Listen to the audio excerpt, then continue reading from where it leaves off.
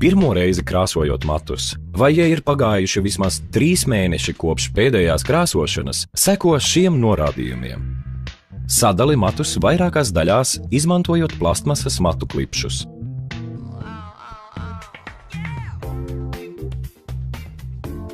Parūpējies, lai Heirex True Color klājums būtu vienmērīgs.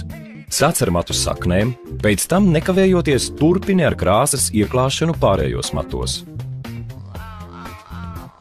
Izmanto pudeli ar aplikātoru un pirkstus, vai arī Heirex otiņu krāsošanai, lai uzklātu produktu uz pārējiem matiem. Rūpīgi noklāj un maigi piespied matus. Sāc no priekšpuses un turpini krāsot virzienā uz skaustu, noklājot vienu mazu sektoru pēc otra. Izmanto spogulīti, lai pārliecinātos, ka visi mati ir rūpīgi nokrāsoti. Paturi 30 minūtes un ļauj krāsai attīstīties.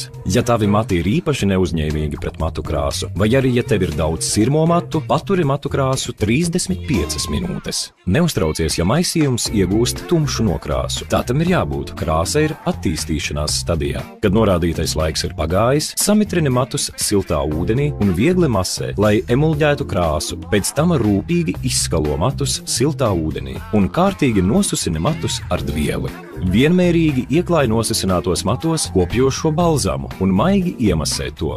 Ja tev ir gari mati, ar pirkstiem vai ar ķemmi, kurai ir reti sari, atšķietini matus, kamēr kopjošais balzāms vēl ir matos. Paturi balzāmu matos 2 līdz 3 minūtes, pēc tam rūpīgi izskalo matus remdenā ūdenī.